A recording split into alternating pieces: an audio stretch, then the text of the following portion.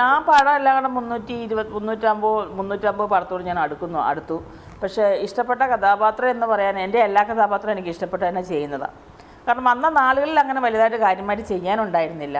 പിന്നീടാണ് ഒരു ഒരു ഒരു ഒരു എന്താ പറയുക തുടക്ക പടങ്ങളിലും എനിക്ക് വലിയ കാര്യമായിട്ട് ചെയ്യാനുണ്ടായിരുന്നില്ല.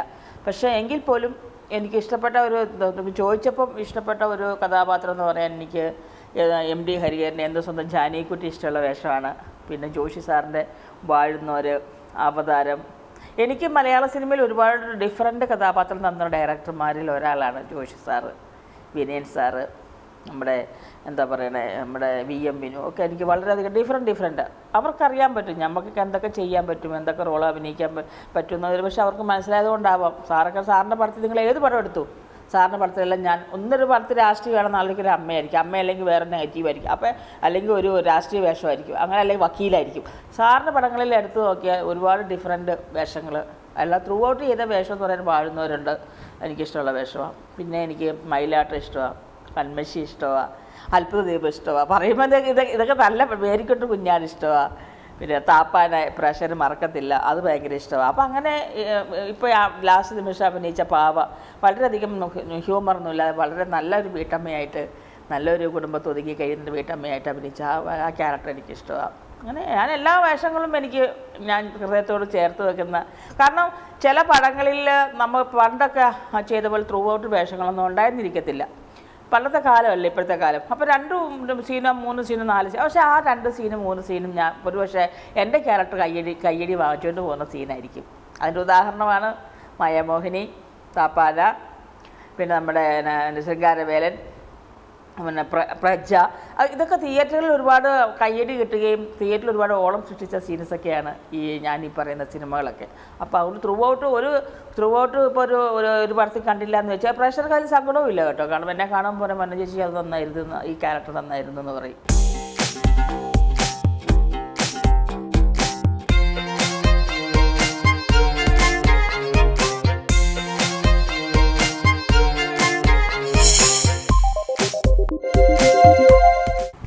അഭിനയമല്ലാതെ എനിക്ക് ഒരു ഞാൻ സ്റ്റേജ് ഷോസുകൾ ചെയ്യാറുണ്ട്. ഷോസുകൾ പോവാറുണ്ട്.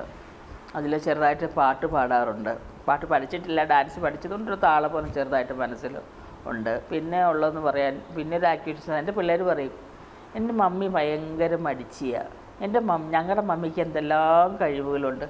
മമ്മി ഒന്നും ഡെവലപ്പ് ചെയ്യത്തില്ല. കാരണം ഞാനൊരു ഡാൻസറാണ് പിള്ളേരൊക്കെ പറയും മമ്മി വണ്ണമൊക്കെ കുറച്ചിട്ട് മമ്മി താര താരക്കല്യാണം എപ്പോഴും വിളിക്കും പൊന്നുവാ. ഡാൻസ് പ്രാക്ടീസ് ചെയ്യുക ചെയ്യുന്നൊക്കെ പറയും. ഞാനെന്തോ അതിന് പുറകോട്ട് വെക്കണം ഡാൻസ് കളിക്കേണ്ട പ്രായത്തിൽ നന്നായിട്ട് കളിച്ചു നല്ല പ്രൈസൊക്കെ വാങ്ങി. ഇപ്പം മണ്ണൊക്കെ വെച്ചപ്പോൾ അതിനോടൊരു വിമുഖത മനസ്സിൽ വന്നതുകൊണ്ടാണ് അങ്ങനെ. പിന്നെ എഴുത്തൊന്നുമില്ല. ഹസ്ബൻഡ് ഹസ്ബൻഡാണ് നാടകങ്ങൾ എഴുതുക. പിന്നെ പാട്ട് കേൾക്കും. പിന്നെ ഏറ്റവും ഇഷ്ടം എന്ന് പറയാൻ എന്താ പറയുക എന്റെ ശരീരപ്രകൃതി കാണുമ്പോൾ അറിയില്ല. നല്ല ഫുഡൊക്കെ കഴിച്ച് നന്നായിട്ട് ഉറങ്ങുക നല്ല ഉറക്കം. അതൊക്കെയാണ് ഞാൻ ഇഷ്ടപ്പെടുന്ന എന്റെ ഷൂട്ടിംഗ് ഇല്ലാത്തപ്പോൾ ഉള്ള എന്റെ വിനോദങ്ങൾ പിന്നെ ഉള്ളത് പിള്ളേരുകൾക്കെല്ലാം അവരെഴുതും പാട്ട് പാടും എല്ലാ കാര്യങ്ങളും. പിള്ളേ പിള്ളേർക്ക് ഒത്തിരി ഗുണങ്ങൾ ഒത്തിരി കിട്ടിയിട്ടുണ്ട്. ഞാൻ പിന്നെ ഒന്നും അങ്ങനെ അങ്ങോട്ട് ഡെവലപ്പ് ചെയ്യാൻ നോക്കിയിട്ടില്ല എന്നുള്ളതാണ് സത്യം. പിന്നെ കുക്ക് കുക്കിംഗ് എനിക്ക് ഭയങ്കര ഇഷ്ടമാണ് കുക്കിംഗ് എനിക്ക് ഭയങ്കര ഇഷ്ടമാണ് മാറി മാറി ചെയ്യാനും ചെയ്ത് നോക്കാറുണ്ട്. പിന്നെ ഞാൻ പല ഷോസുകൾ കുക്കറി ഷോസുകൾ ചെയ്യാറുണ്ട്. അതൊക്കെ ചെയ്യാറുണ്ട്. വീട്ടമ്മ രീതിയിൽ അങ്ങനെയുള്ള കാര്യങ്ങളൊക്കെ ചെയ്യാറുണ്ട്.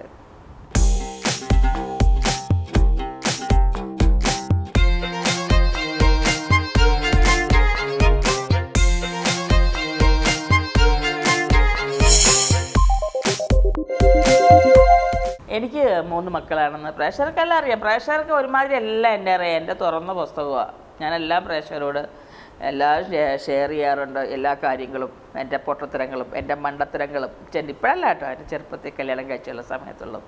എനിക്ക് മൂന്ന് മക്കളാണ്. അല്ല മൂത്ത മോട് മൂന്ന് മക്കളൊന്നും ഇപ്പോൾ ഉണ്ട്.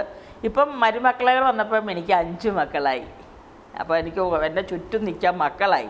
ഇനി എന്റെ മോനൊരു ഒരു മോളും കൂടെ വന്നാൽ തികഞ്ഞു. എനിക്കിപ്പോൾ അഞ്ച് മക്കളെന്നേ ഞാനിപ്പോൾ പറയാൻ പറ്റത്തുള്ളൂ. കാരണം എന്റെ ജെയിംസ് റോബിൻ രണ്ട് എന്റെ മരുമക്കളാണ്. അതുപോലെ തന്നെ എന്റെ മക്കൾ മൂത്ത മോടെ പേര് പൊപ്പി എന്റെ മോനുണ്ട്. അവന്റെ മാത്യു ബിബിൻ എന്ന് വിളിക്കും മാത്യു രാമൻ ലണ്ടനിലാണ്. ഇളയാളാണ് പിങ്കി അല്ല പിങ്കി അൽഫോൻസ. അപ്പം മൂന്ന് രണ്ട് പേരുടെ കല്യാണം കഴിഞ്ഞു. മൂത്ത മോൾ ഓസ്ട്രേലിയയിലാണ്. അവർ അവർ അവരുടെ എനിക്ക് രണ്ട് മൂന്ന് കുഞ്ഞുവാവകളുണ്ട്. Amanda Alisha Jake. അവർ മെൽബണിൽ സെറ്റിൽഡാണ്. മോൻ അവിടെ ഡെപ്യൂട്ടി മാനേജറായിട്ട് ലണ്ടനിൽ വർക്ക് ചെയ്യുന്നു. ഇളയ മോളിപ്പോൾ കല്യാണം അവൾ രണ്ട് പടത്തിൽ അഭിനയിച്ചിരുന്ന നായികയായിട്ട്. അവളെ ഞങ്ങൾ പുറകോട്ട് പിടിച്ചു. കാരണം സിനിമ എന്ന് പറയുന്ന ഒരു ഫിലിം ഇൻഡസ്ട്രി എന്ന് പറയുന്നത് ഞാനൊക്കെ വന്ന സമയങ്ങളിൽ നായിക പ്രാധാന്യമുള്ള കഥാപാത്രങ്ങളുണ്ടായിരുന്നു മലയാള സിനിമയിൽ. ഇന്നതല്ല. ഇന്ന് നായികയ്ക്ക് ചെയ്യാനൊന്നുമില്ല. നായികയ്ക്ക് വല്ലതും ചെയ്യാനുള്ള ഉള്ളതാണെങ്കിലോ എല്ലാ അവാർഡ് പടങ്ങളാണ് മനസ്സിലായി. അവാർഡ് പടങ്ങളിൽ നായകന്മാർക്ക് ചെയ്യാനുണ്ടാവും. അപ്പോൾ അതെ ബേസ് ചെയ്തിട്ട് ഒരു കഥാപാത്രം. അല്ലാതെ ഒരു സ്ത്രീ ഒരു ഒരു സ്ത്രീ കഥാപാത്രം എന്ന് പറയാൻ ശക്തമായ കഥാപാത്രങ്ങളൊന്നും മലയാള സിനിമയിലില്ല പിങ്കിയെ സംബന്ധിച്ച് പിങ്കി രണ്ട് പടം ചെയ്തു. അതിൽ ഒന്ന് പവനായി ആയിരുന്നു ക്യാപ്റ്റന്റെ പടം. അത് ഇറങ്ങിയില്ല. രണ്ടാമത്തത് ഒരു പറഞ്ഞ പോലെ ഒരു അവാർഡ് ഒരു ഇതുപോലെ ഒരു മാസ് പടമല്ല നക്ഷത്രങ്ങൾ എന്ന് പറഞ്ഞു. അതൊരു സ്ത്രീ കഥാപാത്രമായിരുന്നു. മുൻ ത്രൂ ഔട്ട് അവളെ ഫോളോ ചെയ്യുന്ന ഒരു കഥാപാത്രമാണ് അത് അവൾ ചെയ്തു. പിന്നീട് വെയിറ്റ് ചെയ്ത് പിന്നെ അവൾക്ക് കഥകളൊന്നും ഇഷ്ടപ്പെട്ടില്ല. വരുന്നതല്ല ഇതുപോലുള്ള അവാർഡ് പടങ്ങൾ അപ്പോൾ താല്പര്യമില്ല.